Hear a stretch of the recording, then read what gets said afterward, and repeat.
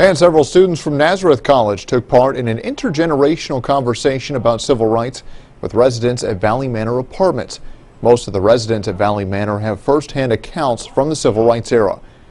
The goal of the program is to build bridges between the generations and build on the experiences of both.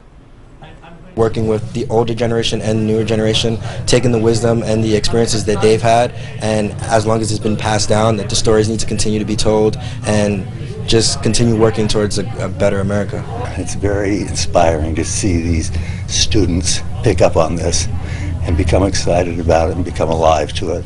And to hear them talk about Dr. King's values is really exciting. MLK